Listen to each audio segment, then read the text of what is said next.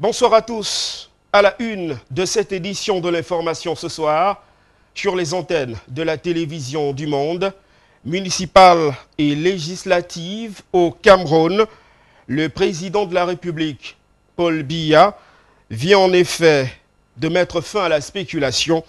Le chef de l'État a convoqué le corps électoral en vue des élections municipales et législatives pour le 9 février 2020. Dans cette édition, nous reviendrons sur ce décret rendu public ce 10 novembre 2019 au Cameroun. Également en titre hors de nos frontières, en Zambie, le président Edgar Lungue a démenti toute tentative de restreindre les libertés de réunion de l'opposition. C'était au cours d'une des rares rencontres entre le président zambien et la presse au palais présidentiel. Et puis, en sport, championnat Elite One, la sixième journée partielle s'est disputée ce dimanche à travers les différents stades de la République. Le point dans cette édition de l'information, voilà pour le sommaire. Bonsoir à tous et merci de nous retrouver sur les antennes de la télévision du monde pour cette édition de l'information. Édition que nous ouvrons par l'actualité des jours. Il s'agit des législatives et des municipales. Le président de la République vient de mettre fin à la spéculation. Son Excellence Paul Biya vient en effet de convoquer le corps électoral pour le 9 février 2020 en vue d'élire les 180 députés de l'Assemblée nationale et les 360 conseillers municipaux des communes. Précision dans ce reportage. C'est désormais clair, il n'y aura pas une énième prolongation du mandat des conseillers municipaux et des députés de la nation. Ainsi en a décidé le président de la République Paul Biya. Si les spéculations allaient jusqu'ici bon train, précisant que la crise dans les régions du nord-ouest et du sud-ouest du Cameroun, le couplage des élections législatives et municipales depuis 2007 et la réforme du système électoral étaient en voie d'imposer une nouvelle prorogation du mandat de ces élus locaux. Le président de la République, Paul Biya, vient de couper court en annonçant la convocation du corps électoral pour le dimanche 9 février 2020 à l'effet de procéder à l'élection des députés à l'Assemblée nationale et des conseillers municipaux. La décision présidentielle, rendue publique ce 10 novembre 2019, précise par ailleurs que le scrutin annoncé sera ouvert à 8 heures et sera clos à 18 heures. La session du mois de novembre qui s'ouvre le mardi 12 novembre prochain sera donc la dernière de cette neuvième législature. Une législature qui avait déjà bénéficié d'une seconde prorogation suite à l'adoption par l'Assemblée nationale du Cameroun d'un projet de loi relatif. Une prorogation de deux mois des députés et des conseillers municipaux qui prenaient alors effet le 29 octobre dernier et qui visait, selon le gouvernement, à permettre la tenue régulière de la session parlementaire ordinaire du mois de novembre, traditionnellement consacrée à l'examen de la loi des finances. Bien avant cette deuxième prorogation, la première d'un an avait eu lieu l'année dernière, alors que les législatives et les municipales étaient prévues pour le 30 septembre 2018. C'est donc désormais clair pour tout le monde. Ce sera le 9 février 2020 que les Camerounais vont procéder au renouvellement des 180 députés de la Chambre basse du Parlement bicaméral du Cameroun et à l'élection des 360 conseillers municipaux que compte le Cameroun. Convoqué donc pour le 9 février 2020, les élections municipales et législatives connaîtront leur apogée avec la proclamation des résultats prévus le 29 février 2020. Une prérogative du Conseil constitutionnel, mais que prévoit concrètement le calendrier électoral en rapport avec ces élections locales? Réponse dans ce reportage.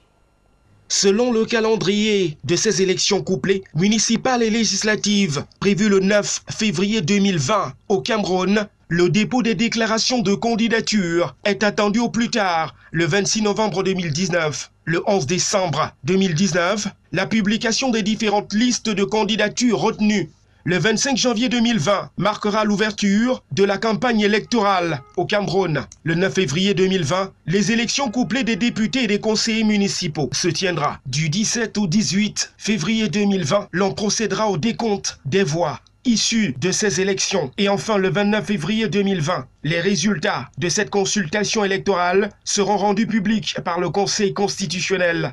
Quasiment quelques jours avant la session de plein droit du mois de mars 2020, session consacrée en priorité au Cameroun, au renouvellement des bureaux des deux chambres du Parlement, l'Assemblée nationale et le Sénat. En fait société, nous parlons des nombreuses pertes en vies humaines, parmi lesquelles un pasteur, des maisons et des infrastructures sanitaires incendiées, des bêtes et autres motos emportées. C'est là le triste bilan de la dernière incursion de la nébuleuse Boko Haram dans la localité de Moskota, c'est dans la région de l'extrême nord du Cameroun. Le phénomène d'insécurité va donc grandissant dans cette euh, partie du terroir située dans le département du Mayo Tsanaga, ce qui a d'ailleurs eu le mérite de courroucer les populations de cette localité qui interpelle désormais les pouvoirs publics. Jean-Jamais Yedna, Adjegonji. Depuis environ quatre mois, il ne se passe 72 heures, soit trois jours, sans que l'on enregistre une incursion de la secte islamiste Boko Haram dans la localité de Moskota, arrondissement du Mayo Moskota, département du Mayo Tsanaga, dans la région de l'extrême nord Cameroun. Ces éléments de la nébuleuse ont trouvé une terre fertile à Moskota, où ils font à leur guise, sans toutefois être inquiétés par les éléments de défense et de sécurité nationale. Les populations de la localité de Moskota tentent d'expliquer cette montée d'insécurité ces derniers temps par le départ du lieutenant Boutotoma, qui était chef du détachement militaire à Mozogo. Celui-là même qui maîtrisait la stratégie de Boko Haram sur le terrain du Mayo Moskota. Les raisons dont les BH avaient peur de venir à Moskota on avait notre lieutenant qui s'appelait M. Boutou. Il maîtrisait bien leur chemin. Et quand il les voyait, quand ils ont commencé dans un coin, ils parcouraient, ils connaissaient bien la route. Ils partaient et ils s'en sortaient. Les BH sont fréquents ici à Moscota parce que euh, on a constaté qu'il n'y a plus quelqu'un efficace comme avant. Parce qu'en 2018, on avait un lieutenant là, M. Mboutou. Lui, il circulait dans la nuit et il n'avait pas besoin de ces éléments à côté pour attaquer ces BH. Mais à partir de 2019, si là, on constate déjà euh, bon, l'incompétence, on peut dire, de, de, ces forces de défense et de maintien de l'ordre. Rendu à ce jour, le bilan de l'attaque de ces hors-la-loi se veut lourd. À moins d'une semaine, deux attaques ont été perpétrées dans cette localité, notamment dans la nuit du 31 octobre au 1er novembre, où le centre de santé intégré de Moscota a été pillé et saccagé. Une personne tuée dans ce centre hospitalier, plusieurs maisons pillées, des bêtes et autres motos emportées.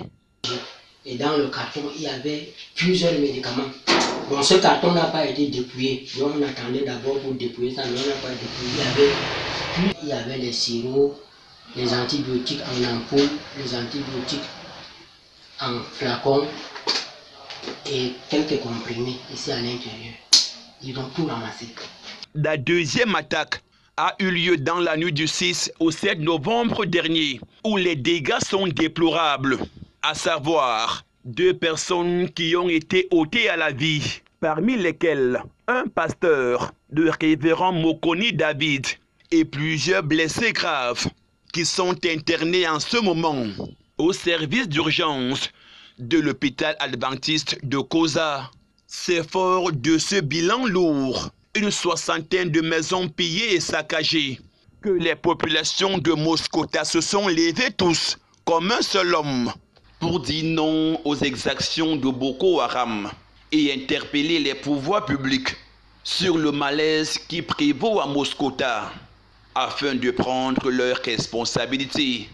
À cet effet, nous voulons donc faire appel à l'État pour qu'il nous envoie des forces de maintien de l'ordre, des forces, euh, et pour que nous soyons en sécurité, parce que ça ne va pas ici chez nous à Moscota. Nous avons besoin de la paix et nous avons besoin du soutien de l'État.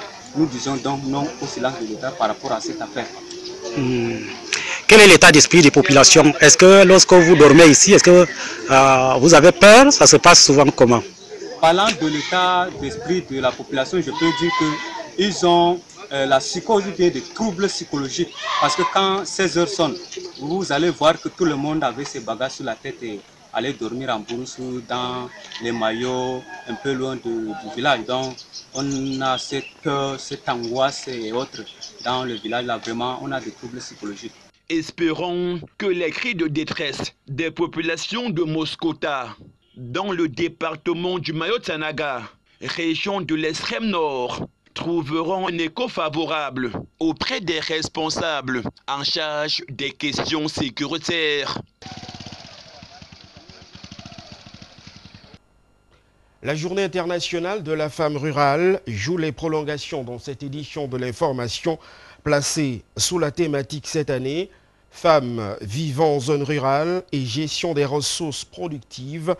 La 24e édition de cette journée a permis aux autorités administratives de la région du littoral de faire un plaidoyer auprès des décideurs en faveur du bien-être de la femme rurale. C'était au cours d'une cérémonie qui s'est déroulée samedi dernier dans la localité de Mouanko, c'est dans le département de la Sanaga maritime. Jean-Jean Yetna, Jean-Blaise.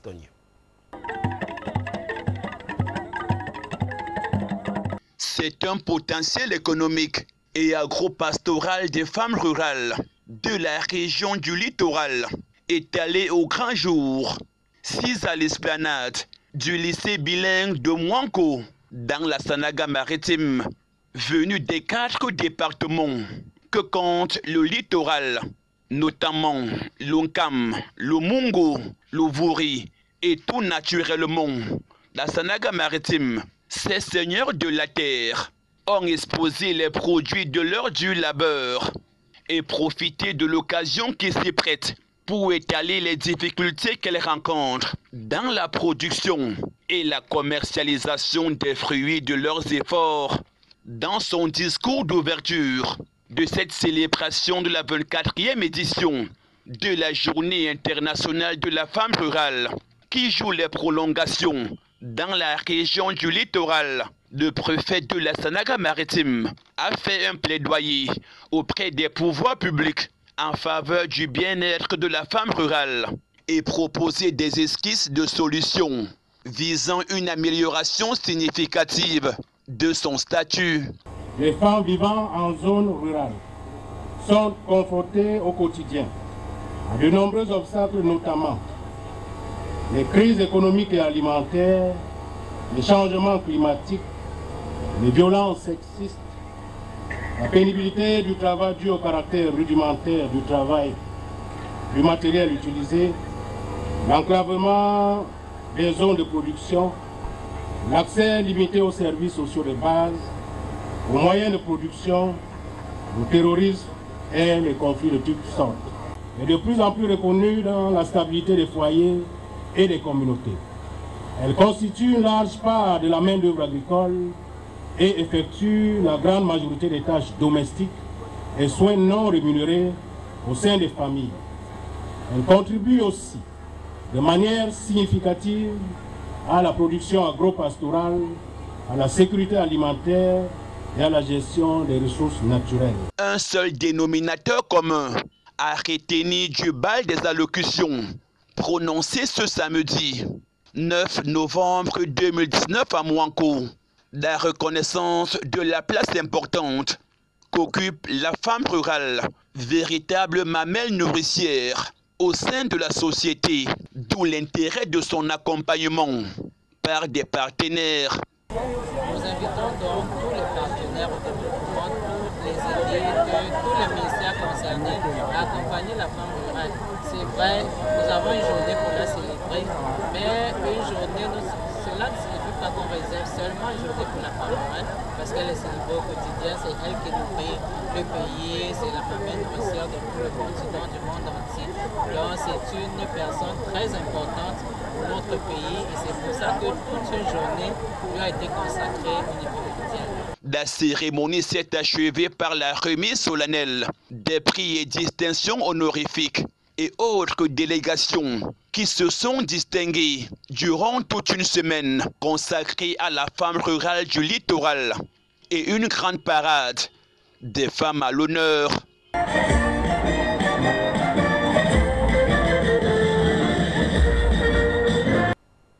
Les travaux de l'autoroute Yaoundé-Simalène devraient connaître une accélération dans les tout prochains jours. Une mission récente au pays de Macky Sall a permis aux experts camerounais de s'imprégner de la réalité de ce pays en matière de construction des infrastructures à haute intensité de main-d'œuvre. Précision Jean-Oscar Libok, Mohamed interrogations tardaient. C'est une rencontre de restitution de la mission d'échange et d'études de la délégation camerounaise qui a séjourné du 18 au 23 au dernier au Sénégal. Cette mission, constituée des responsables des ministères, des partenaires au développement engagés dans l'aménagement du corridor urbain des abords de l'autoroute Yaoundé-Sibalen, ainsi que les élus locaux des arrondissements traversés par cette autoroute et parmi eux le maire de la commune d'arrondissement de Fou, Roger Bellinga, expliquant en quelque sorte le contenu du rapport et ses recommandations. C'est un ensemble d'éléments qui, vont, nous permettre de mettre euh, sur pied le corridor, l'aéroport international d'Insimalen. Il s'agit de certaines modalités, tant juridiques qu'autres, pour, que, pour accompagner ce projet. La mise en valeur des abords de l'autoroute Yaoundé-Simalène devrait être et symboliquement présenter la physionomie du Cameroun. Le ministre Célestine Ketia Cortez du Mindu porte là une maîtrise du développement spatial des communes traversée par cet ouvrage qui est la vitrine, la porte d'entrée du Cameroun. Je me félicite et félicite les élus, les édiles, le délégué du gouvernement et les quatre maires qui s'engagent dans une intercommunalité de s'entendre sur les projets à réaliser le long du corridor. Donc c'était très important que la restitution se fasse en présence de tous les acteurs et que la validation de ce rapport et des recommandations nous donne la feuille de route pour aménager le corridor de Yaoundé-Simalène. Les expériences du Sénégal qui seraient susceptibles d'être répliquées au Cameroun, mais tout en tenant compte des spécificités de chaque pays, d'où la contextualisation du rapport restitué ce jour par cette mission.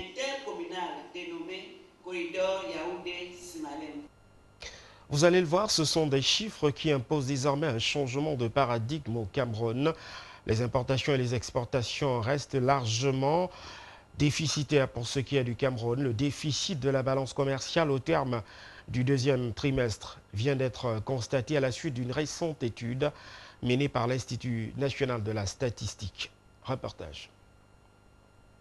Le déficit du solde de la balance commerciale du Cameroun continue de se détériorer au deuxième trimestre 2019. Selon l'Institut national de la statistique, qui vient de rendre public une note sur le sujet, il ressort que ce déficit s'établit à 396,8 milliards de francs CFA au cours de la période sous revue. Et pour cause, les produits du Cameroun vendus à l'étranger s'établissent à 822,1 milliards de francs CFA au second semestre 2019, alors que les produits importés se situent à 1218,9 milliards de francs CFA. Selon l'INS, la hausse des exportations est essentiellement le fait de l'augmentation des exportations du pétrole brut, celle des biens hors pétrole et gaz naturel n'ont augmenté que de 1,1%. En dehors du pétrole donc, le principal produit exporté par le Cameroun est le boissier dont les exportations ont évolué de 15,2%. Pour ce qui est des importations des biens et des services, elles ont connu une hausse en volume de 20,3% au deuxième trimestre 2019, impactant négativement de 5 points à la croissance du produit intérieur brut. Toujours selon l'Institut national de la statistique, les produits de l'industrie de la transformation agricole, de l'industrie du papier, de l'industrie chimique, de l'industrie du textile et des autres produits manufacturiers sont les principaux produits importés au cours de la même période. Le riz importé au Cameroun a connu une hausse tandis que les poissons congelés ont connu une légère chute. Hors de nos frontières, nous nous rendons en Zambie où le président Edgar Lonke a démenti toute tentative de restreindre les libertés de réunion des chefs de l'opposition. C'était au cours d'une des rares rencontres entre le président zambien et la presse au palais, au palais présidentiel. Africa News pour les détails. La Zambie est-elle en train de sombrer dans l'autoritarisme et l'autocratie? Non, Martel Edgar Lungu, le président zambien, a démenti toute tentative de restreindre les libertés de réunion des chefs de l'opposition. Il s'est exprimé en début de week-end lors de l'une de ces très rares rencontres avec la presse conviée pour l'occasion au palais présidentiel. À en croire M. Lungu, l'opposition ne se préoccupe pas du développement du pays. Rien ne vous empêche de tenir des réunions publiques si vous en avez envie. Mais pour ma part, je préfère me concentrer sur des problèmes plus sérieux plutôt que de galvaniser les foules sans arrêt de 2016 à 2021. Edgar Lungu est arrivé au pouvoir en Zambie en 2015, après le décès du président Michael Sata, avant la fin de son mandat. Il a été de nouveau élu en 2016 sur un programme basé sur la lutte contre l'incurie et une société de privilèges. Apprécié pour ses opérations anticorruption choc, ses opposants critiquent pourtant un virage autocratique et des mesures parfois jugées à la limite de la légalité. Rien ne semble cependant ébranler l'ancien avocat. Lors de la conférence de presse de vendredi, le chef de l'État zambien a indiqué qu'il serait candidat à sa propre succession en 2021, s'il obtient le mandat de son parti. Février 2019, huit mois après avoir renversé le gouvernement de droite de Mariano Rajoy par une motion de censure, le Premier ministre par intérim Pedro Sanchez a annoncé la convocation des élections législatives anticipées pour le 28 avril 2020. Euronews pour les détails. Février 2019, huit mois après avoir renversé le gouvernement de droite de Mariano Rajoy par une motion de censure, Pedro Sanchez annonce la convocation d'élections législatives anticipées pour le 28 avril. Le Premier ministre espagnol par intérim n'est pas parvenu à rassembler une majorité de voix au Parlement autour de son projet de loi de finances.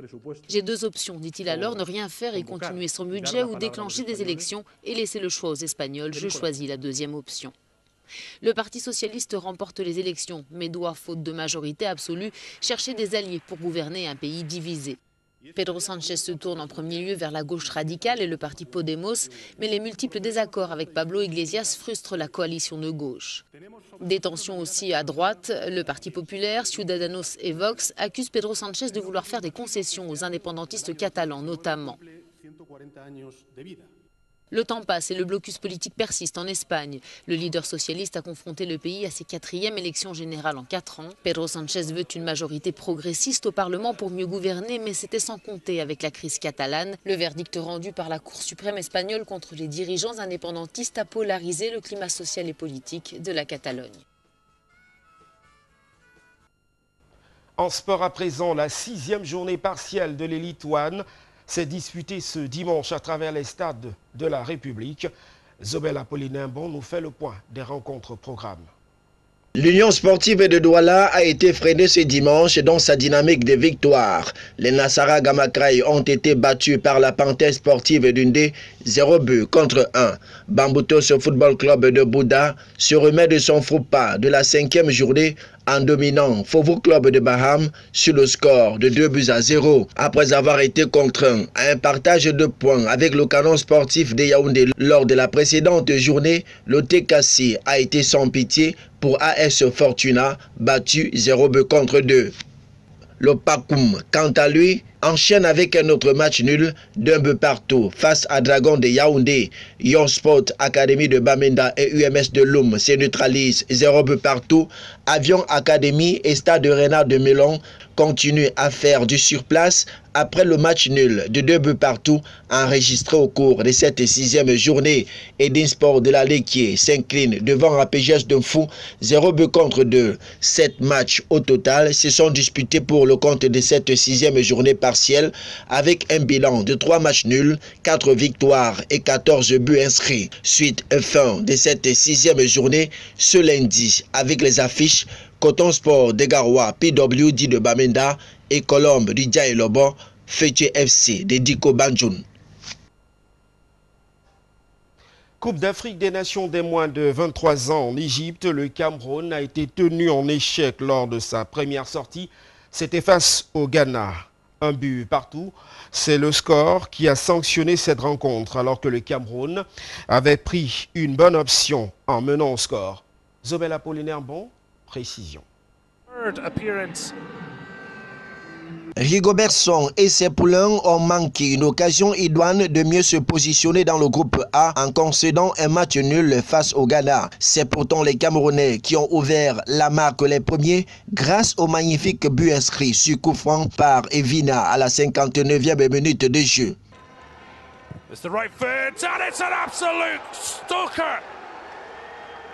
Après cette ouverture de score, le Cameroun a tenu le Ghana de bout en bout, mais manquant malheureusement à plusieurs reprises de saler l'addition.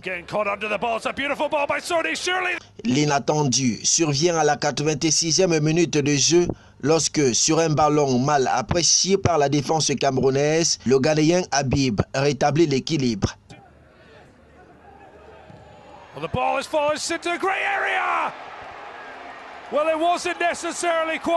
La rencontre s'achève à un partout et le Cameroun occupe la deuxième place au classement du groupe A, juste derrière l'Égypte, tombeuse du Mali. Deuxième sortie de U23 camerounais ce lundi face à la sélection malienne.